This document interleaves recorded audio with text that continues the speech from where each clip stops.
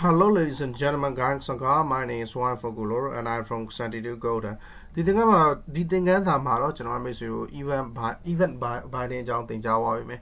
event binding ဆိုတော့ကျွန်တော်လက်တွေ့တွားလို့ကြည့်အောင်နော် event binding ဆိုတော့ပုံမှန်အဖြစ်ကျွန်တော် event တွေရှိရလေနော် event ပါ event တွေရှိလေဆိုတော့ဥပမာကျွန်တော်ကဒီမှာ button လေးရှိရဆို button မှာ click event ထည့်ခြင်းလေဆိုရင်ကျွန်တော်က CNCK click ဆိုပြီးတော့ အာ function တစ်ခုကိုခေါ်တာဟုတ်တယ်မလားအခုကကျွန်တော်က on click မှာ function တစ်ခုခေါ်ရဲဘာလို့ကျွန်တော်မိတ်ဆွေ JavaScript ကိုလေ့လာအောင်မယ်နော်အခု Angular မှာကျတော့ကျွန်တော်ဘာပဲခေါ်ရအောင် CRCK click ဆိုပြီးတော့ around bracket ထဲမှာတော့ခေါ်ရတယ်နော် click ဆိုပြီးတော့ click နှိပ်တဲ့အခါမှာကျွန်တော်က my func ဆိုပြီးတော့ function တစ်ခုကိုခေါ်လိုက်မယ် ဟုတ်ပြီနော် my fan ဆိုတဲ့ function အပေကိုညွှန်းတော့ကျွန်တော်ဒီကအာ home component တည်းရဲ့ဆို my fan ကိုအခုမရှိသေးဘူးဆိုတော့ကျွန်တော်လာတိဆောက်ပြီးလိုက် my func fan my fan ကိုတိဆောက်ပြီးတော့ကျွန်တော်ကလမ်းခေါ်လိုက်ဒါတခါတည်းကျရင်ကျွန်တော်ဒီလို my fan လို့အပြည့်အဝတိဆောက်ကြရမလို့ဗျာ my func fan ဆိုပြီးတော့ my fan x equal to functn1 function ဆိုပြီးတော့လိုလာရေးလိုက်ရတယ်နော် my fan က alert 1 3ဆိုပြီးတော့ပြောလိုက်နော်အဲ့လိုလာရေးလိုက်ရတယ် ပြဿနာမရှိဘူးဒီမှာလာပြီးတော့ mixing semicolon နဲ့ semicolon တခုပြအောင်ねဒီမှာလာထည့်ပြီးလိုက်နော်တော့တအားရှုပ်တာအဲ့တော့ my fan ဆိုဒီလိုဆိုရင်ကြတော့ကျွန်တော်ဒီမှာလာကွန်းတော့ကမလို့တော့ my fan ကိုခေါ်တဲ့ခါကျရင်အဲ့လိုတိဆောက်ခဲ့နေနော်အဲ့တော့မိတ်ဆွေ button ကို click နေတဲ့ခါကျရင် my fan ဆိုတဲ့ function ကိုခေါ်ပေးလိုက်မယ်အဲ့တော့ my fan ဆိုတဲ့ function ကိုတကယ်ခေါ်လာတော့ကျွန်တော်လက်တွေ့တွားကြည့်အောင် refresh နဲ့ button လေးကို click နေရင်အာမခေါ်ဘူးဖြစ်တာတွေ့ရလိမ့်မယ်ဘာကြောင့်လဲဆိုတော့ button ကို click နေရင်ကျွန်တော်က my func why not my func my fan ကိုခေါ်ခိုင်းတယ်အခုကျွန်တော်ဒီလိုလေးပြောင်းရေးကြည့်မယ်နော်ဘာဖြစ်တာလဲသိရအောင်လို့အဲ့တော့ my fan ကိုခေါ်ခိုင်းတယ်ဆိုတော့ကျွန်တော်ဒီမှာလာပြီးတော့ my fan ကိုလာခေါ်ကြည့်မယ် okay refresh ပြန်လုပ်မယ်ပြီးရင် button ကို click click တစ်ချက်နှိပ်မယ် click တစ်ချက်နှိပ်ရင်အလုံးမလုံးဖြစ်နေတယ်မိတ်ဆွေ alert တင်နေတော့ပါနော် refresh ပြန်နှိပ် click တစ်ချက်နှိပ်အလုံးမလုံးကျွန်တော် function f12 နဲ့ကြည့်ကြည့်မယ်ဘာမှလဲလို့ console ကနေပြီးတော့ဘာမှအမှားမရှိဘူးဘာဝဲမခေါ်ပေးရအောင်ကျွန်တော်က button ကို disable လုပ်ထားတယ် disable ကို true တွေ false ထည့်ထားတယ်အကောင်ခဏပြန်ဖြတ်လိုက်မယ်နော်အဲ့တော့ click နှိပ်တဲ့အချိန်မှာကျွန်တော်တို့က my phone ကိုခေါ်ခိုင်းတယ်ဒီမှာ live refresh ပြန်နှိပ်မယ် click နှိပ်ရင် alternate တုံးလို့ပြရနော်ဒီမှာ live click တစ်ချက်ပြန်နှိပ်ကျွန်တော်အဆုံး disable မြတ်လုပ်ထားပြီလို့လားမသိနော် click နှိပ်ရင် alternate တုံးလို့ပြရတယ်ဟုတ်ပြီနော်အဲ့တော့ရိုးရှင်းချင်းလေးပဲကျွန်တော်တစ်ချက်ပြန်ပြောမယ်အဆုံးမအောင်မြင်တာနဲ့ရောဝါလို့ဒီကောင်လေးကိုခဏဖြတ်ထားမယ်ပြီးရင်ဒီကောင်လေးကိုလည်းကျွန်တော်ခဏဖြတ်ထားမယ်ဥပမာကျွန်တော်က button ကို click နှိပ်ရင်အလုပ်လုပ်ခြင်းနဲ့ဆိုရင် Angular ရဲ့ CINCK click ပြီးရင်ကျွန်တော်က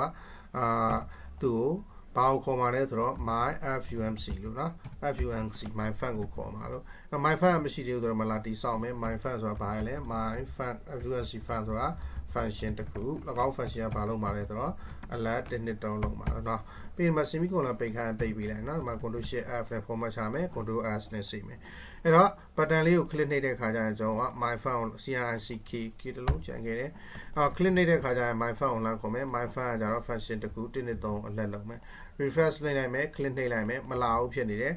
အာဒီလိုရေးနည်းကိုလက်မခံဘူးဖြစ်နေတာเนาะကျွန်တော်အဲ့ဒါဆိုရဟန်းပြန်ရေးလိုက်မယ်အဲ့တော့ my fumc နော် ဒီတိုင်းရင်ကြတော့ကျွန်တော်ကနောက်ကကွင်းစားကွင်းမိလိုက်ထည့်ပြရမယ်เนาะတခုဒီတိုင်းမလို့တော့ဘူးပေါ့နော်အဲ့တော့ my fan ဆိုတော့ဒီဘက်ကလည်းလာပြီးတော့ my fan ကိုကွင်းစားကွင်းမိလေးနဲ့လှမ်းခေါ်ပြီးရင်မှ refresh နှိပ်ပြီးတော့ click နှိပ်လိုက်ရင်အလုပ်ဖြစ်သွားတယ်ပဲเนาะတင်းတင်းတုံတင်းတင်းတုံဆိုအလက်ပြနိုင်မယ်ဟုတ်ပြီနော် အဲ့တော့မိတ်ဆွေတို့ဘာကိုလုပ်ကြည့်လို့ရလဲဆိုတော့ကျွန်တော်နောက်တင်ကန်းစာ two way binding ဆိုတော့ရအော်ဒီမှာလက်တွေ့ပြလို့ရတယ်ဘယ်နှမိနစ်ရှိလဲ3မိနစ်ပဲရှိတယ်အဲ့တော့ကျွန်တော်လက်တွေ့တစ်ချက်ပြရင်မှာ button လေးကို click နှိပ်တဲ့အခါကျရင်ကျွန်တော်တို့ကအလုပ်တစ်ခုလုပ်မယ်ဘာအလုပ်လဲဆိုတော့ heady အလုပ်ဟိုမှာလဲအာဒီ boolean data type variable ဖြစ်တဲ့ true false ကိုကျွန်တော်တစ်ချက်ပြောင်းမယ်အဲ့တော့ boolean data type variable ကျွန်တော်ရှိရတင်ကန်းမှာဒီကောင် boolean variable true ဖြစ်နေတယ်ဆိုရင်ဘာလုပ်မှာလဲ true ဖြစ်နေရင်ကျွန်တော်က red color ပြောင်းမယ် false ဖြစ်နေရင် red color မပြောင်း red color class ကိုမသုံးဘူးပေါ့နော်အဲ့တော့ကျွန်တော်ကလာလုပ်မယ် pattern တစ်ချက်နှိပ်တိုင်းမှာကျွန်တော်က function ကိုခေါ်မယ် function ကိုခေါ်တိုင်းမှာလဲကျွန်တော်က this dot bumbu x assign လုပ်လိုက်မယ် not this science this dot bumbu လို့နော်အဲ့ဒါဆိုရင်ကျွန်တော်တို့ရဲ့ harry boolean တန်ဖိုးက boolean တန်ဖိုးမဟုတ်လို့ပြောလိုက်တာအဲ့ဒါမှ true ဖြစ်နေတယ်ဆိုရင် true က